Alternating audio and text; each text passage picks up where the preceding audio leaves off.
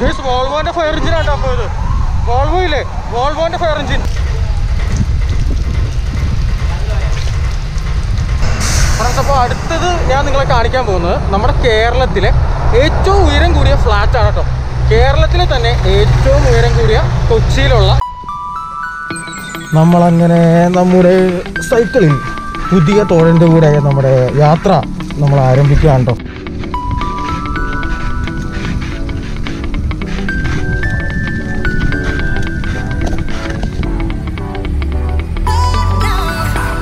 അപ്പോൾ ഇവിടെയാണ് നമ്മുടെ ട്വന്റി ട്വന്റി ഷൂട്ട് ചെയ്ത വീടുള്ളത്.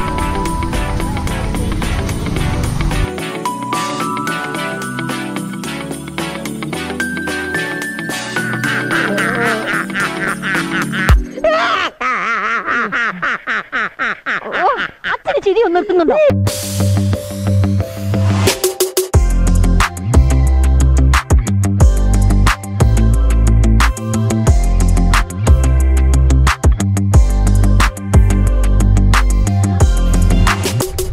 നല്ല മഴയാണ് കേട്ടോ അത് കാരണം മഴക്കോട്ടും തൊപ്പിയും ഒക്കെ വെച്ചിട്ടാണ് യാത്ര ഇന്ന് സ്റ്റാർട്ട് ചെയ്തിട്ടുള്ളത്. ഞങ്ങൾ നോർമലി എല്ലാ ഞായറാഴ്ച എല്ലാ ഞായറാഴ്ചയാണ് സാധാരണ രാവിലെ സൈക്ലിങ്ങിന് പോണത്. ഞാനുണ്ടാവും ബി സി പ്രോ ഉണ്ടാവും അങ്ങനെ കുറേ പേരുണ്ടാവും. പക്ഷെ ഇന്ന് ഞാൻ മാത്രമല്ല കേട്ടോ സൈക്ലിങ് ചെയ്യാനായിട്ട്. ഇന്നലെ ആക്ച്വലി ഞാൻ ഒരു ബ്ലോഗ് ഷൂട്ട് ചെയ്യണമെന്നും പറഞ്ഞ് ഇറങ്ങിയതാണ്. പക്ഷെ നമ്മുടെ ഗോപ്രോയ്ക്ക് ചെറിയ കംപ്ലയിൻസ് വന്നതുകൊണ്ട് ഷൂട്ട് ചെയ്യാൻ പറ്റിയില്ല. ഫ്രണ്ട്സ് അപ്പോൾ ഫസ്റ്റ് തന്നെ ഞാൻ നിങ്ങളെ കാണിക്കാൻ പോകുന്നത് നമ്മുടെ ഫിലിം ആക്ട്രസ് സരയു ഇല്ലേ? സരയു മോഹൻ താമസിച്ചിരുന്ന വീടാണ് കേട്ടോ ഞാൻ നിങ്ങളെ കാണിക്കാൻ പോകുന്നത്. ഇതാണ് നമ്മുടെ സരയു താമസിച്ചിരുന്ന വീട്. ഇപ്പോൾ അവർ ഇവിടുന്ന് വിറ്റുപോയി. സരയു ഇപ്പോൾ കടവന്ത്രയിലൊക്കെയാണ് താമസിക്കുന്നത്. ആദ്യം ഏകദേശം സരയു ഫസ്റ്റ് ഫിലിമിൽ വരുമ്പോഴൊക്കെ ഈ വീട്ടിലായിരുന്നു താമസിച്ചിരുന്നത്. അതിന് മുന്നേ ഞങ്ങളുടെ ട്യൂഷൻ ക്ലാസ് ആയിരുന്നു ഈ വീട്. അതിനുശേഷം സരയു ഒക്കെ ഈ വീട് മേടിച്ച് അവരിവിടെയാണ് താമസിച്ചിരുന്നത് കേട്ടോ. അപ്പോൾ എന്റെ വീടിന്റെ തൊട്ടടുത്ത് തന്നെയാണ് ഈ സംഭവം. ഇപ്പോൾ അവർ പോയി. അപ്പോൾ ഓക്കെ നമുക്ക് അടുത്ത കാഴ്ചകളിലേക്ക് നമുക്ക് പോകാം ഫ്രണ്ട്സ് അപ്പോൾ ഇത് നമ്മുടെ വീടിന്റെ തൊട്ടടുത്ത് തന്നെയുള്ള ചൈതന്യ നഗർ എന്ന് പറയുന്ന ഒരു കോളനിയാണ് കേട്ടോ ഒരു ഹൗസിംഗ് കോളനിയാണ് അപ്പോൾ ഇവിടെയാണ് നമ്മുടെ ട്വന്റി ട്വന്റി ഷൂട്ട് ചെയ്ത വീടുള്ളത്. അതായത് ട്വന്റി ട്വന്റിയിൽ നമ്മുടെ ലാലേട്ടന്റെ വീടായിട്ട് കാണിക്കുന്ന വീടില്ലേ? അതിവിടെയാണ് കേട്ടോ അപ്പോൾ അത് ഒരുപാട് നാൾ കൊണ്ടാണ് ഞാനൊക്കെ ഏതാണ്ട് എട്ടാം ക്ലാസ്സിലോ ഒമ്പതാം ക്ലാസ്സിലൊക്കെ പഠിക്കുമ്പോഴാണ് അതിന്റെ ഷൂട്ടിങ്ങും കാര്യങ്ങളൊക്കെ നടന്നത്. വർഷങ്ങളോളം ഉണ്ടായിരുന്നു അതിന്റെ ഷൂട്ടിങ് ആക്ച്വലി ഒരുപാട് നാൾ കൊണ്ടാണ് അത് ഷൂട്ട് ചെയ്തത്. ഇതാണ് കേട്ടോ ആ വീട്. ലീല നിവാസ്. ഇതാണ് ട്വന്റി ട്വന്റിയിൽ നമ്മുടെ ലാലേട്ടന്റെ വീടായിട്ട് കാണിക്കുന്ന വീട്. ഇതാണ് ആ വീടിന്റെ ഫ്രണ്ട് ഫ്രണ്ടിൽ തന്നെ നമുക്ക് എന്താ പറയുക ലാലേട്ടനൊക്കെ ഇരിക്കുന്ന ഷോട്ടും കാര്യങ്ങളും ജഗതിച്ചേട്ടനും ലാലേട്ടനൊക്കെ ഇരിക്കുന്ന ഷോട്ടൊക്കെ ഉണ്ട്. അപ്പോൾ എരൂരാണ് കേട്ടോ ഈ സ്ഥലം. എരൂര് ചൈതന്യ നഗർ. ഫ്രണ്ട്സ് അപ്പോൾ ഇനി നമ്മൾ എത്താൻ പോകുന്നത് തൃപ്പൂണിത്തുറ വടക്കേക്കോട്ട കോട്ടവാതിലാണ് കേട്ടോ പണ്ട് രാജാക്കന്മാരുടെ കാലത്ത് ഉള്ള ഒരു കോട്ടവാതിലാണിത്. കണ്ടോ? തൃപ്പൂണിത്തുറ വടക്കേക്കോട്ട കോട്ടവാതിൽ. അപ്പോൾ ഇതാണ് നമ്മുടെ കോട്ടവാതിൽ. പണ്ട് രാജഭരണക്കാലത്ത് ഇവിടെ ചുങ്കം ഉണ്ടായിരുന്നു ടോൾ ഉണ്ടായിരുന്നു. നമ്മൾ ടോൾ ഒരു ചെറിയൊരു എമൗണ്ട് അടച്ചാൽ മാത്രമാണ് നമുക്ക് തൃപ്പൂണിത്തുറ നഗരത്തിലേക്ക് നമുക്ക് കയറാൻ പറ്റുള്ളൂ അപ്പോൾ അത് ഞാൻ എന്റെ അമ്മുമ്മയും അപ്പൂപ്പനൊക്കെ പറഞ്ഞ് ഞാൻ കേട്ടിട്ടുണ്ട്. അത് പണ്ട് വർഷങ്ങൾക്ക് മുമ്പുള്ള ബ്രിട്ടീഷ് കാലഘട്ടത്തിലുള്ള കഥയാണ്. കണ്ടോ?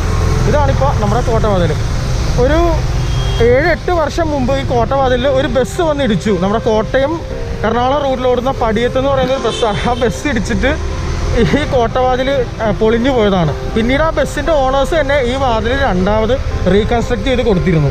അപ്പോൾ രണ്ടാമത് പണിത കോട്ടവാതിലാണ് ഇപ്പോൾ ഈ ഉള്ളത് കേട്ടോ.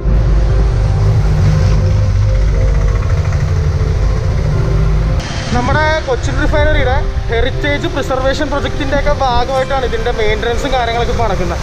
എല്ലാ വർഷവും വർഷാവർഷം പെയിന്റിങ്ങും കാര്യങ്ങളൊക്കെ നടത്തിയ നല്ല സുന്ദര കുട്ടപ്പന്മാരായിട്ടാണ് ഈ സംഭവമൊക്കെ വെച്ചേക്കണം ഈ സൈഡിൽ കാണുന്ന സംഭവമൊക്കെ കണ്ടോ കേസ് ഇതൊക്കെ ഓരോ പാലസാണ് കേട്ടോ.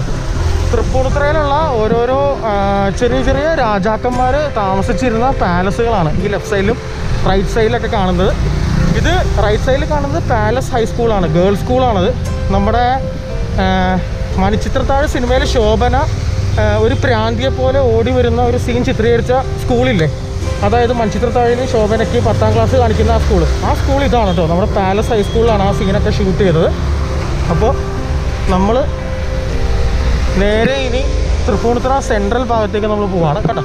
ലെഫ്റ്റ് സൈഡിലൊക്കെ ഈ കാണുന്ന ഇത് ഓരോന്നൊക്കെ പാലസുകളാണ് ഇപ്പോൾ ഇവിടെയൊക്കെ ചിലതൊക്കെ ഷോപ്പുകളും കാര്യങ്ങളൊക്കെ ആക്കി മാറ്റി. ചില പാലസൊക്കെ ഇപ്പോഴും റിനോവേഷൻ ചെയ്യാതെ അങ്ങനെ തന്നെ ഇട്ടിട്ടുണ്ട് കേട്ടോ അപ്പോൾ ഇനി നമ്മൾ പോകാൻ പോകുന്നത് തൃപ്പൂണിത്തുറയുടെ മെയിൻ അട്രാക്ഷൻ അല്ലെങ്കിൽ തൃപ്പൂണിത്തുറയിലെ ഏറ്റവും വലിയൊരു ടെമ്പിളായ ശ്രീ പൂർണത്രൈശ ക്ഷേത്രത്തിലേക്കാണ് ശ്രീ പൂർണത്രൈശ ടെമ്പിൾ അപ്പോൾ അമ്പലത്തിന്റെ ഫ്രണ്ടിലാണ് കേട്ടോ നമ്മൾ എത്തിയിട്ടുള്ളത്. ഞാൻ നിങ്ങളെല്ലാം സകല കാഴ്ചകളും കാര്യങ്ങളൊക്കെ ഇവിടുത്തെ കാണിച്ചു തരാം. മഴ പെയ്യുന്നുണ്ട്. മഴ ചെറുതായിട്ട് ഇങ്ങനെ ചന്നം ചിഹ്നം ചന്നം ചിഹ്നം പെയ്തുകൊണ്ടിരിക്കുകയാണ്. ഫ്രണ്ട്സ് അപ്പോൾ ഇതാണ് നമ്മുടെ തൃപ്പൂണിത്തറ ശ്രീ പൂർണത്രേശ ടെമ്പിൾ ഇവിടെ വലിയൊരു ആൽമരം ഉണ്ടായിരുന്നു. അതൊരു മൂന്ന് വർഷം മുമ്പ് വെട്ടിക്കളഞ്ഞു. വെട്ടിക്കളഞ്ഞിട്ട് ഇപ്പോൾ രണ്ടാമത് പ്ലാന്റ് ചെയ്തിട്ടുള്ള ആൽമരമാണ്. അതിപ്പോൾ ചെറുതായിട്ടോ ഇത്ര വളർന്നിട്ടുള്ളു. കണ്ടോ? ക്യാമറയിൽ വെള്ളം വീണുണ്ട് കേട്ടോ. ഇതൊരു ഭയങ്കര ശല്യമാണ്. ഇതാണ് നമ്മുടെ തൃപ്പൂണിത്തറ ശ്രീ പൂർണത്രേശ ക്ഷേത്രം. അപ്പോൾ ഇവിടെ വലിയൊരു ഉത്സവമുണ്ട് വൃശ്ചികോത്സവം എന്ന് പറഞ്ഞ്. അപ്പോൾ ആ ടൈമിൽ ഇവിടെയൊക്കെ കംപ്ലീറ്റ് തൃപ്പൂണിത്തറയിലെ ഏറ്റവും വലിയൊരു ഫെസ്റ്റിവലാണത് ഏകദേശം പത്തിരുപത് ആനകളും കാര്യങ്ങളും ഒക്കെ വന്നിട്ട് ഭയങ്കര ഹെവി ആയിട്ടുള്ള ഒരു ഉത്സവമാണ് ഈ വൃശ്ചികോത്സവം. അപ്പോൾ ഞങ്ങൾ തൃപ്പൂണിത്തറക്കാരുടെ ഏറ്റവും വലിയൊരു ഫെസ്റ്റിവലാണ് സംഭവം. ജാതി മതഭേദമന്യേ ഞങ്ങളെല്ലാവരും വന്ന് സെലിബ്രേറ്റ് ചെയ്യുന്ന ഒരു ഉത്സവമാണ്. ഏകദേശം ചേട്ടാ എത്ര ആനപ്പുറത്താണ് നമ്മുടെ വൃശ്ചികോത്സവം നടത്തുന്നത്? പതിനഞ്ച് ആനപ്പുറത്ത് അല്ലേ? അപ്പോൾ ഇരുപത്തഞ്ചോളം ആനകൾ വരും അല്ലേ? നാൽപ്പത് ആനകളുണ്ടാവും അല്ലേ? നമുക്ക് നമുക്കിനി അമ്പലത്തിന്റെ അമ്പലത്തിന്റെ പുറകിലേക്ക് നമുക്ക് പോകാം കേട്ടോ അവിടെ ആനപ്പറമ്പും കാര്യങ്ങളൊക്കെ ഉണ്ട്. ആനേനെ കെട്ടുന്ന സ്ഥലവും സംഭവങ്ങളൊക്കെ ഉണ്ട്. നമുക്ക് അതൊക്കെ ഞാൻ നിങ്ങളെ ഒന്ന് കാണിച്ചു തരാം കേട്ടോ. അപ്പോൾ ഇത് അമ്പലത്തിന്റെ തന്നെ ഊട്ടുപുരയാണ് കേട്ടോ സംഭവം. ഊട്ടുപുരയുടെ സൈഡിൽ കൂടി വേണം നമുക്ക് പുറകിലേക്ക് പോകാനായിട്ട്. പുറകിൽ വേറൊരു ഗോപുരമുണ്ട് അപ്പോൾ ഇവിടെയാണ് നമ്മുടെ ആനേനെ കെട്ടുന്ന ആനപ്പറമ്പുള്ളൂ കേട്ടോ. ഇപ്പം ആന ഉണ്ടോയെന്നൊന്നും നമുക്കറിയില്ല. നമുക്ക് ജസ്റ്റ് ഒന്ന് പോയി നോക്കാം. ഗൈസ് ആനയുണ്ട് ഗൈസ് വാ വണ്ടർഫുൾ ഇവിടെ നിൽക്കുന്നുണ്ട് കേട്ടോ ഇതാണ് ആനപ്പറമ്പ്. ആനയുടെ പേര് അറിയില്ല കേട്ടോ പേര് വെച്ചിട്ടില്ല. അതുകൊണ്ട് ആനയുടെ പേര് എന്താണെന്ന് പറയാൻ പറ്റത്തില്ല. ഇതിവിടെയാണ് പാപ്പാമാരെയൊക്കെ ആ, ഒരു ഉത്സവത്തിന്റെ സമയത്തൊക്കെ പാർപ്പിക്കുന്ന ആ ഒരു പെര ഇതാണ്. അദ്ദേഹം ആനപ്പാപ്പാനാണെന്ന് തോന്നുന്നു കേട്ടോ നമുക്കറിയില്ല. Tata bye bye. നമുക്ക് അമ്പലത്തിന്റെ ബാക്കിലേക്ക് പോവാട്ടോ അമ്പലത്തിന്റെ ബാക്കിലുള്ള കുറച്ച് കാഴ്ചകളൊക്കെ കാണിച്ചു തരാം. അത് മാത്രമല്ല ഇവിടെ ഒരു ഇരുമ്പ് പാലം എന്ന് പറഞ്ഞ പാലമുണ്ട്. പണ്ട് ബ്രിട്ടീഷുകാരുടെ കാലഘട്ടത്തിൽ പണിതിട്ടുള്ള ഒരു പാലമാണ്. മൊത്തത്തിൽ ഇരുമ്പാണ്. അപ്പോൾ ഈ കുറച്ച് നാൾ മുമ്പ് വരെ കാറും ഹെവി വെഹിക്കിൾസൊക്കെ അതുവഴി മൂവ് കൊണ്ടുപോകാൻ പറ്റുമായിരുന്നു. പക്ഷെ ഇപ്പോൾ ടൂ വീലേഴ്സ് മാത്രമേ വിടുന്നുള്ളൂ കേട്ടോ അപ്പോൾ ഈ കാണുന്നതാണ് നമ്മുടെ തൃപ്പൂണിത്തുറ അമ്പലത്തിന്റെ ബാക്കിലെ ആ ഒരു ഗോപുരം. ബാക്കിലെ എൻട്രൻസ് ഇതാണ് കേട്ടോ ഞാൻ ആദ്യമായിട്ടാണ് കേട്ടോ സൈക്കിൾ ബ്ലോഗിങ് ചെയ്യുന്നത്. അപ്പോൾ അതിന്റെ അതിന്റേതായിട്ടുള്ള കുറച്ച് കുറവുകളും കുഴപ്പങ്ങളൊക്കെ ഉണ്ടാവും. അപ്പോൾ നിങ്ങളത് ക്ഷമിക്കണം. അപ്പോൾ ഇതാണ് നമ്മുടെ ഇരുമ്പ് പാലം. കണ്ടോ ബേസ് കംപ്ലീറ്റ്ലി ഇരുമ്പ് വെച്ചിട്ടാണ് ഉണ്ടാക്കിയിട്ടുള്ളത്. ടാറിങ് ആണ് കേട്ടോ താഴത്തൊക്കെ ടാറിങ് നമ്മുടെ മട്ടാഞ്ചേരിയിലെ പഴയ തോപ്പുംപടി പാലമില്ലേ? ആ പാലത്തിന്റെ ഒക്കെ അതേ കൺസ്ട്രക്ഷൻ പാറ്റേണിലാണ് ഈ ഒരു പാലവും നിർമ്മിച്ചിട്ടുള്ളത് കേട്ടോ. കണ്ടോ? മൊത്തം ഇരുമ്പാണ്. കംപ്ലീറ്റ്ലി അയേൺ സ്ട്രക്ചറാണ് ഇത്രയും വർഷമായിട്ടും യാതൊരു വിധത്തിലുള്ള ഒരു കുലുക്കങ്ങൾ പോലും ഈ പാലത്തിന് സംഭവിച്ചിട്ടില്ല. നമുക്ക് ക്ലോസ് ആയിട്ട് അതൊന്ന് എക്സാമിൻ ചെയ്യാം കേട്ടോ. ഞാൻ വണ്ടി ഒന്ന് വെച്ചേക്കട്ടെ. എന്റെ സൈക്കിൾ ഞാൻ പറഞ്ഞില്ലല്ലോ. എന്റെ സൈക്കിൾ ഇതാണ് കോസ്മിക് വയേജർ പൊളി സാധനമാണ്. ഇരുപത്തൊന്ന് ഗിയർ കണ്ടോ ഇതാണ് നമ്മുടെ ഇരുമ്പ് പാലത്തിന്റെ ആ ഒരു കൺസ്ട്രക്ഷൻ പാറ്റേൺ കണ്ടോ? മൊത്തം ഇരുമ്പിലാണ് ചെയ്തിട്ടുള്ളത്. താഴത്തെ വാക്ക് ചെയ്ത് അടുത്തിടയ്ക്കാണ് അലുമിനിയം ഷീറ്റ് വെച്ചിട്ട്. നമ്മുടെ ബസ്സിന്റെ ഒക്കെ അടിയിലൊക്കെ ചെയ്യുന്ന അലുമിനിയം ഷീറ്റില്ല ആ ഷീറ്റ് വെച്ചിട്ട് അവർ ചെയ്തിട്ടുള്ളത്. മൊത്തം ഇരുമ്പാണ്. അതായത് ഒരു വാക്ക് വേയും ഉണ്ട് അതുപോലെ വാഹനങ്ങൾ പോകാനായിട്ട് അവിടെ ഒരു ഏരിയം അങ്ങനെ കൊടുത്തിട്ടുണ്ട്. പിന്നെ ഇവിടെ ഒരു ആറാട്ടുകട പോലെ ഒരു ചെറിയൊരു സെറ്റപ്പ് ഉണ്ട് കേട്ടോ. അത് നമ്മുടെ തൃപ്പൂണിത്തുറ അമ്പലത്തിന്റെ തന്നെ ഭാഗമായിട്ടുള്ള ഒരു ആറാട്ട് കടവാണ് ഇതാണിത്. കണ്ടോ? ശ്രീ പൂർണത്രേശായ നമ എന്ന് പറഞ്ഞ് കൊടുത്തിട്ടുണ്ട്. അപ്പോൾ ഇവിടെ ആറാട്ട് നടത്താനായിട്ട് പുഴയിലേക്ക് ഇറങ്ങാനായിട്ട് ചെറിയൊരു വഴി അവർ വെച്ചിട്ടുണ്ട്. ഇതാണ് കേട്ടോ നമ്മുടെ ഇരുമ്പുവാരത്തിന്റെ താഴത്തെ തൂണൊക്കെ കണ്ടോ പീസ് കംപ്ലീറ്റ് മൂന്ന് തൂണിലാണ് നിൽക്കുന്നത് പക്ക പണ്ടത്തെ ബ്രിട്ടീഷുകാരുടെ ആ ഒരു കൺസ്ട്രക്ഷൻ രീതിയാണ്. ഈ പുഴ നേരെ എറണാകുളം കായൽ ചമ്പക്കര വഴി എറണാകുളം കായലിലേക്ക് എത്തിച്ചേരും. ഓക്കെ എങ്ങനെയുണ്ട് ഞങ്ങളുടെ നാട്ടിലെ കാഴ്ചകൾ ഇഷ്ടപ്പെട്ടിട്ടുണ്ടെങ്കിൽ ഉറപ്പായിട്ടും നിങ്ങൾ ലൈക്ക് ചെയ്യുക സബ്സ്ക്രൈബ് ചെയ്യുക ഷെയർ ചെയ്ത് ആർക്കും കൊടുക്കണ്ട. നിങ്ങൾ കൊടുക്കുന്ന ആൾക്കാർ വീഡിയോ കാണണമെന്ന് ഒരു നിർബന്ധവുമില്ല. ഓക്കെ ഗൈസ് അപ്പോൾ ഇവിടെ എവിടെയാണ് നമ്മുടെ താര കല്യാൺ ചേച്ചിയില്ലേ? സീരിയൽ ആക്ട്രസ് സിനിമയിലൊക്കെ ഉള്ള. താര താര കല്യാൺ ചേച്ചിയുടെ ആ ഒരു ഫ്ലാറ്റ് ഉള്ളത്. അപ്പോൾ നമുക്കിവിടെ ആരോടെങ്കിലൊക്കെ ചോദിക്കാം. എനിക്ക് കൃത്യമായിട്ട് അറിയില്ല ചേച്ചിയുടെ ഫ്ലാറ്റ് ഏതാണ് പുള്ളിക്കാരനെ കണ്ടിട്ടുണ്ട് ഇവിടെ വെച്ചിട്ട് അമ്പലത്തിലൊക്കെ തൊഴാൻ വരുന്നത്. അപ്പോൾ നമുക്ക് ഇവിടെ ആരോടെങ്കിലും ചോദിച്ച് നമുക്ക് ചേച്ചിയുടെ ഫ്ലാറ്റ് നമുക്ക് കണ്ടുപിടിക്കാം കേട്ടോ. ജസ്റ്റ് ഒരു ശ്രമം. എനിക്ക് ചേച്ചിയായിട്ട് വലിയ പരിചയവും കാര്യങ്ങളൊന്നുമില്ല. താരാ കല്യാണമായിട്ട് വലിയ കണക്ഷൻസ് ഇല്ല.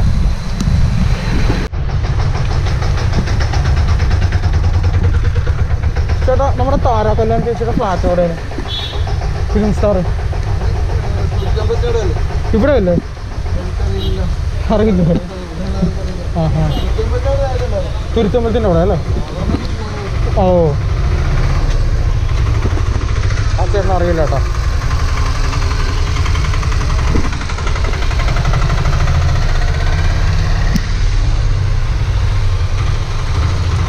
അപ്പോൾ പ്രശാന്തി തൃപ്പാദം അപ്പാർട്ട്മെന്റ് ഇവിടെ ആവാൻ വഴിയില്ല. അത് അത്രയ്ക്ക് വലിയൊരു ഫ്ലാറ്റ് അല്ല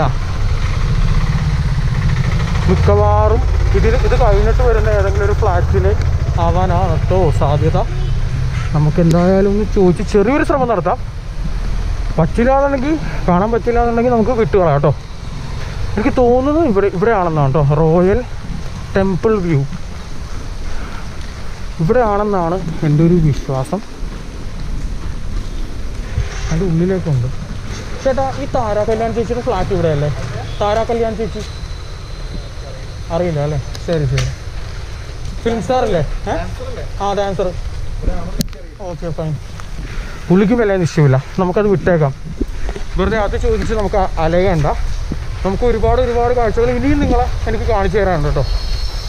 അപ്പോൾ നമുക്കിനി നേരെ തൃപ്പൂണിത്തുറയുടെ അടുത്ത സ്ഥലത്തേക്ക് പോകാം ഇതൊക്കെ ഓരോ പാലസുകളാണ് കേട്ടോ ഇപ്പം ഇതൊക്കെ പുതിയ പുതിയ വീടുകളാണ്.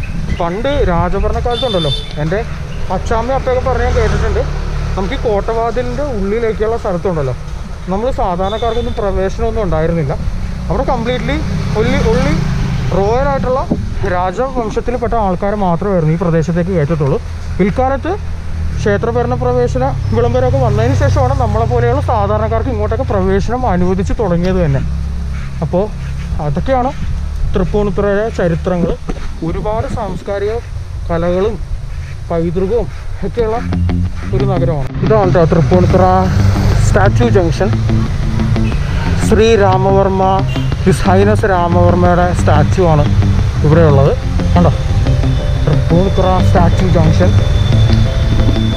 ഫ്രണ്ട്സ് അപ്പോൾ ഇനി നമ്മൾ പോകാൻ പോകുന്നത് നമ്മുടെ ക്രിക്കറ്റ് താരം ശ്രീശാന്ത് ഇല്ലേ? ശ്രീശാന്ത് ബ്രോയൊക്കെ ക്രിക്കറ്റ് പ്രാക്ടീസ് ചെയ്ത് പഠിച്ച ശ്രീശാന്തിനെ വളർത്തിക്കൊണ്ട് വന്ന നമ്മുടെ ക്രിക്കറ്റ് തൃപ്പൂണിത്തറ തൃപ്പൂണിത്തുറ ക്രിക്കറ്റ് ക്ലബിന്റെ ഗ്രൗണ്ട് കാണാനാണ് കേട്ടോ അപ്പോൾ ഈ റൈറ്റ് സൈഡിൽ കാണുന്നതാണ് തൃപ്പൂണിത്തുറ ക്രിക്കറ്റ് ക്ലബ്ബ് നമ്മൾ ഒത്തോളിപ്പുറമെന്നും പറയും. ഇവിടെയുള്ള ആൾക്കാർ ഒട്ടോളിപ്പുറമെന്നാണ് പറയുന്നത്. അപ്പോൾ നമ്മുടെ ശ്രീശാന്തൊക്കെ ഇവിടെയാണ് ക്രിക്കറ്റ് പഠിച്ച് പ്രാക്ടീസ് ചെയ്തത്. ഈ ഒരു ഗ്രൗണ്ടിലാണ് കണ്ടോ? തൃപ്പൂണിത്തുറ ക്രിക്കറ്റ് ക്ലബ് എന്നാണ് കേട്ടോ ഈ ഒരു ക്ലബിന്റെ പേര്. അപ്പോൾ ശ്രീശാന്തിന്റെ ആദ്യകാല ക്രിക്കറ്റ് കോച്ചിങ്ങുകളും കാര്യങ്ങളൊക്കെ നമുക്ക് ഈ ഒരു ക്ലബിലായിരുന്നു ഇവിടെ വെച്ചിട്ടായിരുന്നു. ഇവിടെ നിന്നാണ് അദ്ദേഹം പിന്നീട് കളിച്ച് കളിച്ച് വളർന്ന് വളർന്ന് വളർന്ന് വളർന്ന് വന്നത്.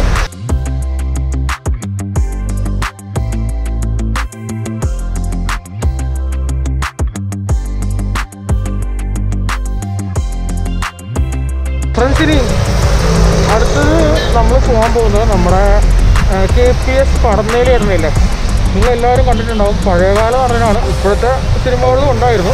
അപ്പോൾ പടന്നേലിയേട്ടന്റെ കട കാണാൻ വേണ്ടിയിട്ടാണ് നമ്മൾ പോണത്. അപ്പോൾ ഇവിടെ തൊട്ടടുത്ത് തന്നെയാണ്. അപ്പോൾ ഏകദേശം രണ്ട് വർഷം മുമ്പ് വരെ അദ്ദേഹം കടയിലൊക്കെ ഉണ്ടായിരുന്നു. പക്ഷേ ഇപ്പോൾ കടയിലുണ്ടോ ഇല്ലയോ എന്നൊന്നും നമുക്കറിയില്ല.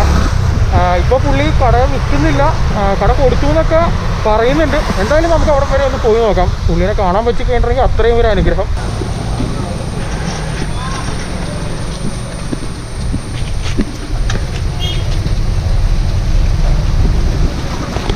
ചേട്ടാ ഇത് വരുന്നില്ലേ പറഞ്ഞേലേട്ടന്റെ കട. അപ്പുറത്തെ കട അല്ലേ? നമസ്കാരം. ഇത് വരുന്നില്ലേ പറഞ്ഞേലേട്ടന്റെ കട? ഇപ്പില്ലേ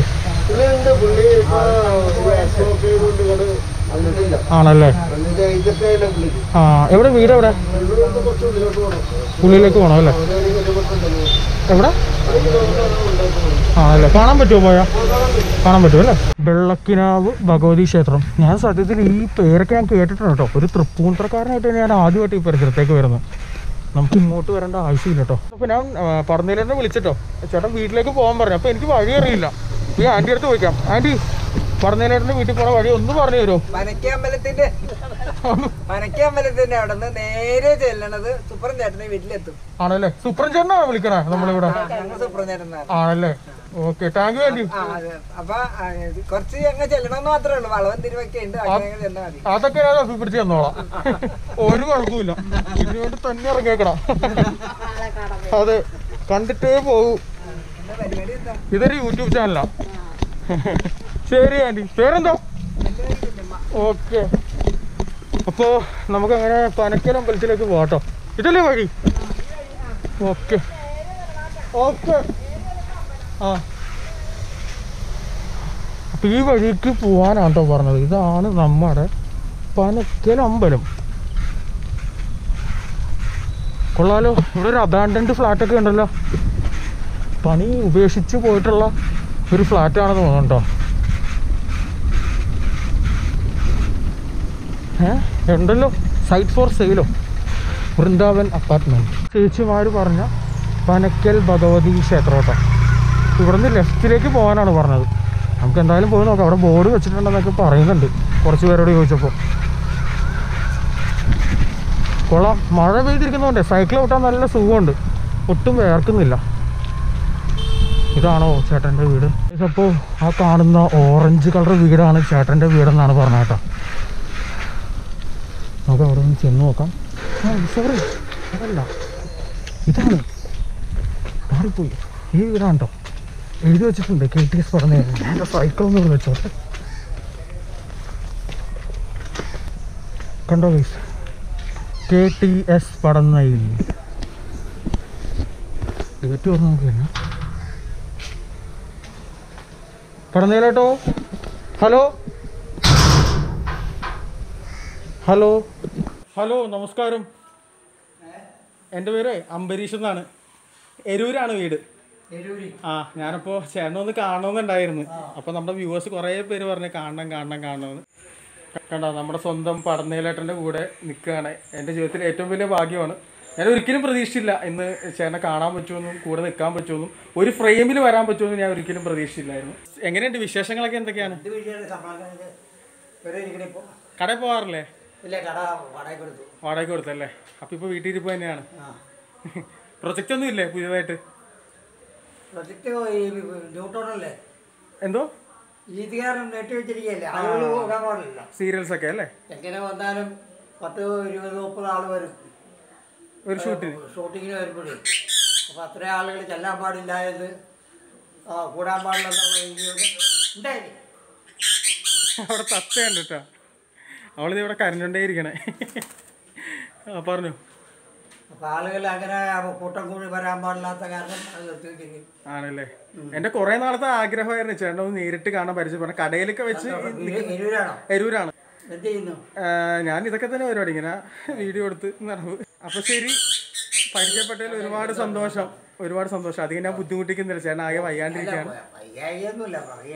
പറയാൻ ഓ, ഇതല്ലേ? ഫ്രണ്ട്സ് അപ്പോൾ ഇതാണ് നമ്മുടെ തൃപ്പൂണിത്തുറയിലെ കരിങ്ങാച്ചിറ പള്ളി. തൃപ്പൂണിത്തുറയിലെ ഒരു വലിയ പള്ളികളിലൊന്നാണ് കരിങ്ങാച്ചിറ പള്ളി. അപ്പോൾ തൃപ്പൂണിത്തുറക്കാർക്ക് ഏറ്റവും പ്രധാനപ്പെട്ട ഒരു തീർത്ഥാടന കേന്ദ്രമാണിത്. ഇവിടെ മിസ് ചെയ്തിട്ട് ഞങ്ങൾക്ക് വേറെ ഒരു ഇതില്ല. അപ്പോൾ ഇവിടെ ഒരു സ്പെഷ്യലായിട്ടൊരു വഴിപാടുണ്ട്. തമുക്ക് വഴിപാടെന്നാണ് പറ- പറയുന്നത്. തമുക്ക് പെരുന്നാൾ എന്ന് പറയുന്ന ഒരു പെരുന്നാൾ ഇവിടെ നടക്കും. അപ്പോൾ തമുക്ക് എന്ന് പറയുന്ന ഒരു വഴിപാടുണ്ട്. അതായത് അരി പഴം ശർക്കര എല്ലാം കൂടി കുഴച്ചിട്ടുള്ള ഭയങ്കര ടേസ്റ്റി ആയിട്ടൊരു സംഭവമാണ്. അപ്പോൾ അതാണ് ഇവിടുത്തെ പ്രസാദം. അപ്പോൾ ഈ തമുക്ക് പെരുന്നാൾ നടക്കുന്ന സമയത്ത് ഞങ്ങൾക്ക് എല്ലാവർക്കും ഭയങ്കര കൊതിയാണ് തമുക്ക് കഴിക്കാനായിട്ട്. നമ്മൾ ഇടിച്ച് ഇവിടെ ക്യൂ ഒക്കെ നിന്ന് തമുക്ക് മേടിച്ച് വീട്ടിൽ കൊണ്ടുപോയി കഴിക്കും. അത് ഞാൻ മാത്രമല്ല തൃപ്പൂണിത്തുറയിൽ താമസിക്കുന്ന ഒട്ടുമിക്ക ആളുകളും ചെയ്യുന്ന ഒരു സംഭവമാണ്. അപ്പോൾ ജാതി മത ഭേദമന്യേ ഞങ്ങൾ എല്ലാവരും വരുന്ന ഒരു പള്ളിയാണ് നമ്മുടെ ഈ ഒരു കരിങ്ങാച്ചറ പള്ളി കേട്ടോ. അപ്പോൾ അത് കാണിക്കാതെ ഈ ഒരു പള്ളി കാണിക്കാതെ തൃപ്പൂണിത്തുറയുടെ കാഴ്ചകളൊന്നും പൂർണമാവില്ല ഇനി നമുക്ക് നേരെ ഇവിടെ നിന്ന് നമുക്ക് തൃപ്പൂണിത്തുറ ഹിൽ പാലസിലേക്ക് പോവാം. അപ്പോൾ ഹിൽ പാലസ് ഇപ്പോൾ ക്ലോസ്ഡ് ആണ്. ഞാൻ പുറത്തുനിന്നുള്ള കാഴ്ചകളെല്ലാം ഞാൻ കാണിച്ചു തരാം കേട്ടോ. ഹിൽ പാലസ് എന്ന് പറഞ്ഞാൽ തൃപ്പൂണിത്തുറയിലെ ഏറ്റവും വലിയൊരു മ്യൂസിയമാണ്. അതുപോലെ തന്നെ കേരളത്തിലും ലോകത്തിലും അറിയപ്പെടുന്ന ഒരു മ്യൂസിയങ്ങളിലൊന്നാണ് ഹിൽ പാലസ്. നിങ്ങൾക്ക് എല്ലാവർക്കും അറിയാം നമ്മുടെ മണിച്ചിത്രത്താഴ് സിനിമ ഷൂട്ട് ചെയ്തിട്ടുള്ളത് നയന്റി പെർസെന്റേജ് നമ്മുടെ ഹിൽ പാലസിലാണ്. അപ്പോൾ അതിന്റെ ഉള്ളിലേക്ക് ക്യാമറ പണ്ടേ അലൗട്ടഡ് അല്ല എന്നാലും ഇന്ന് ഇന്ന് നമുക്ക് അതിന്റെ പുറത്തുകൂടെയൊക്കെ പോയിട്ട് അവിടുത്തെ വിഷ്വൽസും കാര്യങ്ങളും കാഴ്ചകളൊക്കെ ആയിരിക്കും. ഫ്രണ്ട്സ് അങ്ങനെ നമ്മൾ നമ്മുടെ ഹിൽ പാലസ് പുരാവസ്തു മ്യൂസിയത്തിൽ നമ്മൾ എത്തിയിരിക്കുകയാണ് കേട്ടോ. ഇതാണ് നമ്മുടെ hill palace museum. Museum closed ആണ് കേട്ടോ. ഇങ്ങനെയാണ് ഉള്ളിലേക്ക് കയറണം അകത്തേക്ക്. ചേട്ടാ അകത്തേക്ക് വരാവുന്നുണ്ടോ കൂട്ടിയിട്ടേക്കാണോ അകത്തേക്ക് അവരെ അലോ ചെയ്യത്തില്ല.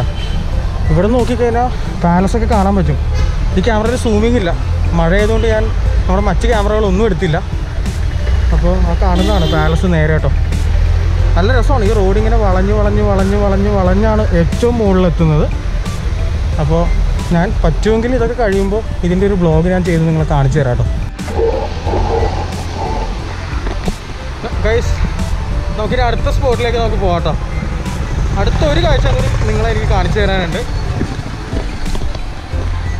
ഇതേ ബോർഡ് കണ്ടോ? വണ്ടർല വീഗാലാൻഡിലേക്ക് പോകുന്ന ബോർഡാണ് പോലീസ് ഹെഡ് ക്വാർട്ടേഴ്സ് തൃപ്പൂണിത്തുറ ഇവിടെ ഉണ്ടോ നമ്മുടെ എ ആർ ക്യാമ്പൊക്കെ ഉള്ളത്? എ ആർ ക്യാമ്പ് എന്ന് പറഞ്ഞാൽ നമ്മൾ പുതിയതായിട്ട് പോലീസിലേക്ക് നമ്മൾ ചേരുമ്പോൾ എറണാകുളം എറണാകുളത്തുള്ള റിക്രൂട്ട്മെന്റ്സിനൊക്കെ ട്രെയിനിങ് കൊടുക്കുന്നത് നമ്മുടെ ഇവിടെയാണ്. ഈ ലെഫ്റ്റ് സൈഡിൽ കാണുന്ന ഈ പോലീസ് ബിൽഡിങ്സിലാണ് ഇത് ഏകദേശം ഒരു കിലോമീറ്ററോളം ഇങ്ങനെ പോകുന്നുണ്ട്. തൃപ്പൂണിത്തുറ എ ആർ ക്യാമ്പ് എന്നാണ് അറിയപ്പെടുന്നത്. അവരുടെ ക്യാന്റീനും പോലീസ് ക്യാന്റീനും കാര്യങ്ങളൊക്കെയാണ്. അവർക്ക് സാധനങ്ങളൊക്കെ മേടിക്കാനായിട്ട്. റൈറ്റ് സൈഡിൽ കണ്ടോ? ഹിൽ പാലസിന്റെ മതിലാണ്. ഏകദേശം നൂറ് ഏക്കറിലധികം വിസ്തൃതിയിലാണ് നമ്മുടെ ഈ ഒരു ഹിൽ പാലസ് സ്ഥിതി ചെയ്യുന്നത് കേട്ടോ. അതിന്റെ ഉള്ളിൽ ഒരുപാട് സെറ്റപ്പുകളും സംഭവങ്ങളൊക്കെ ഉണ്ട്. അപ്പോൾ ഇനി അടുത്തത് ഇനി അടുത്തത് നമ്മൾ നേരെ നമ്മൾ പോകാൻ പോകുന്നത് നമ്മുടെ കൊച്ചിൻ റിഫൈനറിയിലെ കൊച്ചിൻ റിഫൈനറി കാണാൻ വേണ്ടിയിട്ടാണ്. കൊച്ചിൻ റിഫൈനറി നമുക്ക് പുറത്ത് നിന്ന് ഞാൻ ജസ്റ്റ് ഒന്ന് കാണിച്ചു തരാം. നമ്മുടെ എണ്ണ ശുദ്ധീകരണശാല എന്നാണ് കൊച്ചിൻ റിഫൈനറി അറിയപ്പെടുന്നത്. വിദേശത്ത് നിന്നും ദുബായിൽ നിന്ന് യു എയിൽ നിന്നൊക്കെ വരുന്ന നമ്മുടെ ക്രൂഡ് ഓയിൽ റിഫൈനറിയിൽ വെച്ചിട്ടാണ് അത് പ്രോസസ്സ് ചെയ്ത് അത് എന്താ പറയുക റിഫൈൻ ചെയ്തിട്ട് പെട്രോൾ ഓയിൽ ഡീസൽ മണ്ണെണ്ണ എൽ പി ജി മുതലായ സംഭവങ്ങളൊക്കെ ചെയ്യുന്നത്. നമ്മുടെ കേരളത്തിലുള്ള നയന്റി പെർസെന്റേജ് പെട്രോളിയം ഉൽപ്പന്നങ്ങളും ഉണ്ടാക്കുന്നത് നമ്മുടെ കൊച്ചിൻ റിഫൈനറിയിലാണ് ബാക്കി വരുന്നത് മംഗലാപുരം റിഫൈനറി റിഫൈനറി എന്നൊക്കെയാണ് മേടിക്കുന്നത്. അപ്പോൾ നമുക്ക് നേരെ റിഫൈനറി കാണാൻ പോകട്ടെ വോൾവോന്റെ ഫയർ എഞ്ചിൻ ആട്ടോ അപ്പോൾ ഇത്.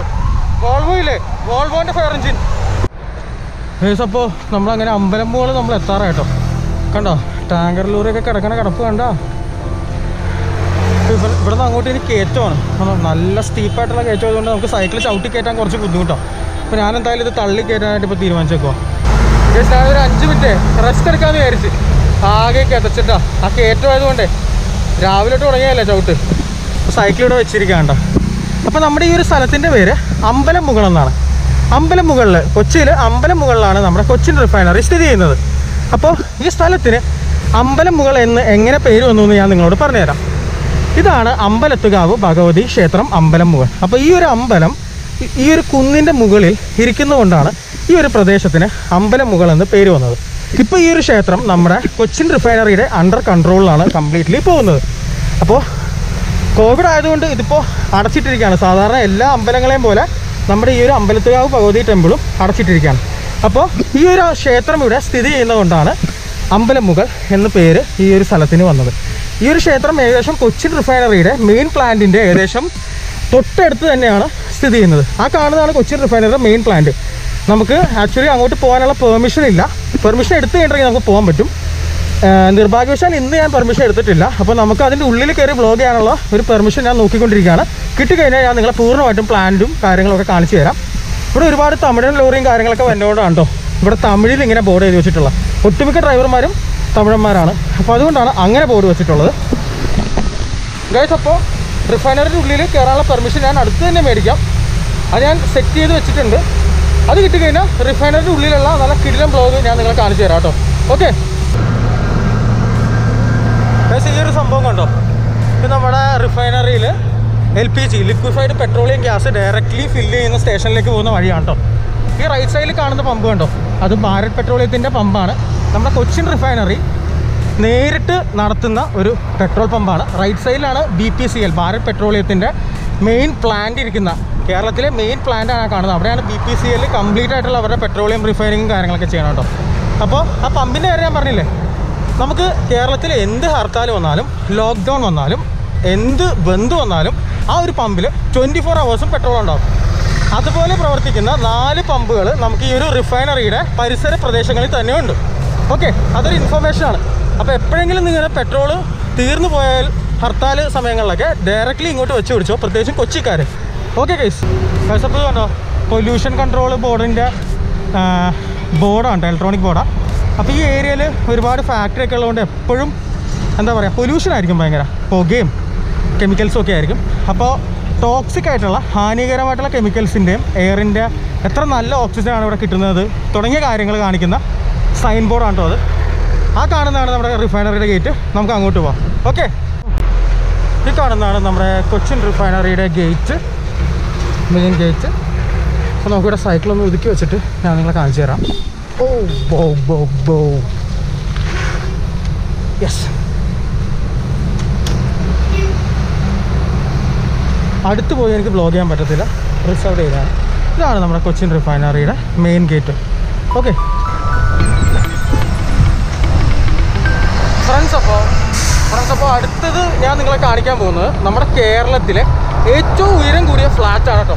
കേരളത്തിലെ തന്നെ ഏറ്റവും ഉയരം കൂടിയ കൊച്ചിയിലുള്ള ചോയ്സ് പാരഡൈസിന്റെ ഫ്രണ്ടിലാണ് നമ്മളിപ്പോൾ നിൽക്കുന്നത്. ഈ കാണുന്നതാണ് നമ്മുടെ ചോയ്സ് പാരഡൈസ്. കണ്ടോ ഗൈസ് കേരളത്തിലെ ഏറ്റവും ഉയരം കൂടിയ ഫ്ലാറ്റാണ് ചോയ്സ് പാരഡൈസ്. കണ്ടോ? അതിന്റെ എൻട്രൻസ് ആണിത്. ഫിലിം സ്റ്റാർസ് അതുപോലെ ഹൈ റാങ്ക് സെലിബ്രിറ്റീസ് കാര്യങ്ങളൊക്കെയാണ് ഈ ഒരു ഫ്ലാറ്റിൽ താമസിക്കുന്നത്. ഇരുപത്തഞ്ച് നിലയാണ് കേട്ടോ. ഇരുപത്തഞ്ച് നിലയുള്ള ഫ്ലാറ്റാണ്. ഭയങ്കര സെലിബ്രേഷൻ ആയിരുന്നു ഇതിന്റെ ഇനോഗ്രേഷനൊക്കെ ഇപ്പോൾ ഏകദേശം ഒരു അഞ്ച് വർഷം ആറ് വർഷത്തോളം ആയിട്ടുണ്ട് ഈ ഒരു ഫ്ലാറ്റ് വന്നിട്ട്. അപ്പോൾ കൊച്ചിയിലാണ് കേട്ടോ. അതൊരു ഇൻഫർമേഷൻ ആയിട്ട് നിങ്ങൾ എടുത്തോ. കൊച്ചിയിലാണ് നമ്മുടെ ഏറ്റവും കേരളത്തിലെ ഹയസ്റ്റ് ഫ്ലാറ്റ് ചെറിയൊരു മിസ്റ്റേക്ക് സംഭവിച്ചു. ഞാനിത് ഇരുപത്തിയഞ്ച് നില എന്നാണ് പറഞ്ഞത്. ഇരുപത്തിയഞ്ച് നിലയല്ല ഈ ഫ്ലാറ്റ് നാൽപ്പത് നിലയാണ് കേട്ടോ. Sorry I M so sorry ചെറിയൊരു മിസ്റ്റേക്കാണ് നമ്മളിവിടെ സെക്യൂരിറ്റി ചേട്ടനോട് ഇൻഫർമേഷൻ ചോദിച്ചു. അപ്പോൾ ചേട്ടനാണ് പറഞ്ഞത് ഇത് നാൽപ്പത് നിലയാണ്.